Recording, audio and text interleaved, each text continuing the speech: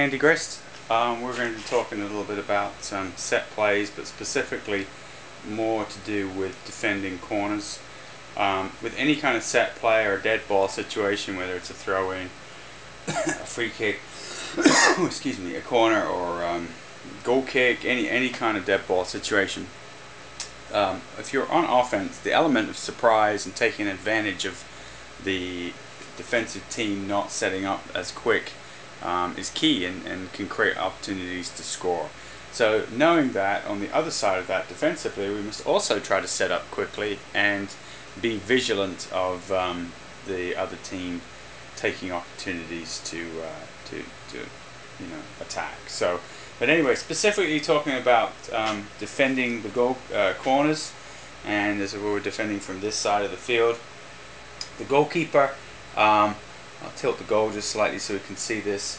Um, we'll use typically set back about three quarters way back in the goal, but depending on the ability of these players to send balls in, um, may vary and may adjust. Um, it's always remember it's always easier to run forward than it is to try to backpedal. So we always stand a little bit further back in the goal. But if we're finding that these players are playing short a lot of the time, then maybe sneaking forward um, into the front half there would be would be advisable. So um, now we refer to the uh, two defenders, two outside defenders, whose job is basically to defend the posts, and that is, sounds like uh, defending the posts is a bit silly, but um, really their job is to stand at the post. But the first front post person here should be uh, close enough not to let the ball through, and then basically you know acting as a protection there on the front, not allowing the ball through into there. So on the back side, um, this player does not stand on the post. They tuck into the goal. As you can see, they tuck into the goal to help protect the goal. And that is their concern. They can protect and stop anything from going in on that back side. So, um, two defenders set up like so. The two central defenders, uh, we will have them um, at the top of the six, um, one on the center, one towards the front, and we create kind of a barrier there for the for the goalkeeper. Um, now we have to go back to where we talk about the first defender, and obviously the role of the first defender is to pressure everything in front. So every player has the responsibility of anything directly in front of them. They must go pressure the ball. They must clear the ball out on the side that the ball is on. If it goes over the back side, then they'll be clearing out. So here, on the front side, it would go out, would clear out to here. So basically, this little area in through here is the goalkeeper's responsibility, and if the goalie does have to collect the ball, we don't stand and watch. We close in around and we help just in case they drop the ball. We protect the goal, and then these players should be there to help clear in case there's some kind of confusion in and around that area. Um, if it drops out, then obviously we step and we pressure. Okay, and the players are all hips should be kind of tilted slightly so that it's facing out the way we're going we can see the ball and we can see any opponents that may be running into that area. So now we move on to the uh, midfielders and assuming we have four midfielders, um, we will talk about the, the midfielder that's playing on this side, the left midfielder as we're attacking that way.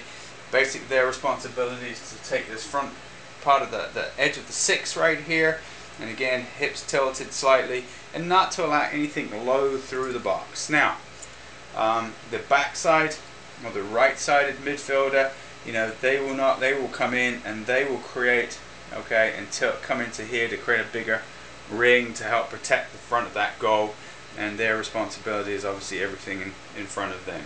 Our two central midfielders, one will drop back into this area and one will hold the top of the box, and you know, anything again in through this area, they misstep immediately and pressure.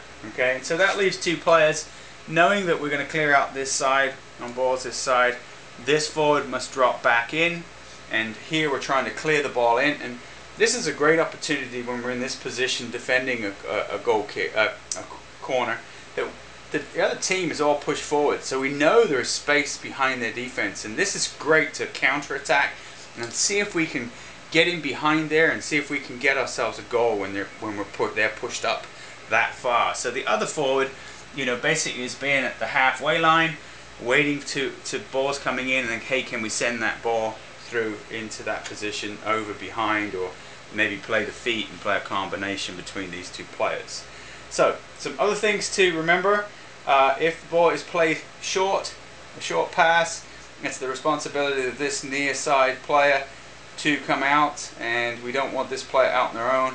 This central midfielder will step out too and this forward should track back in and also help keep the ball contained over here. Can we win it back and can we get a counter attack? So once the ball has been cleared out, it is up to the goalkeeper and these last defenders to, to step and get everybody to step out quickly, leaving players in an offsides position and helping support the attack or maybe pressuring the ball away from the front of our goal clearing everybody out. So um, this is a zonal defense um, opposed to a man-to-man. -man. The downside to playing man-to-man -man is that there may be match mismatches and all over the field and trying to figure out who would match up well obviously creates a lot of confusion. This setup, everybody's responsible for an error on the field. Um, the other problem with the man-to-man -man is that as they're running, these players are attacking and running in, we're obviously running back in with them and we're coming towards our own goal. So there's a downside that it's very difficult to clear if we're running back this way. So you know, we play a zone, and every player must be responsible for picking up and, and being aggressive, uh, stepping out and pressuring, and not letting the ball bounce. The ball should never bounce on defending these. We must clear the ball. We must put a head on this. We must sacrifice ourselves and get the ball out of this danger area.